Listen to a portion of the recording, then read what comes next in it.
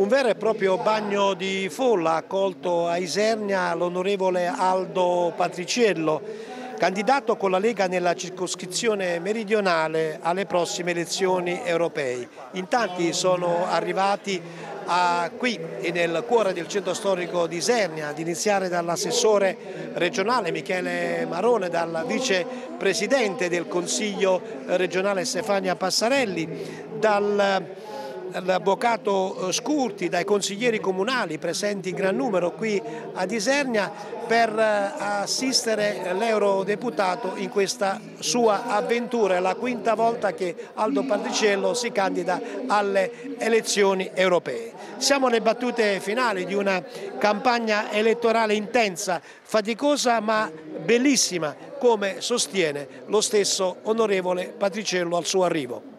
Sono soddisfatto soprattutto dell'incontro costruttivo che sto avendo con tanti elettori, col mondo imprenditoriale.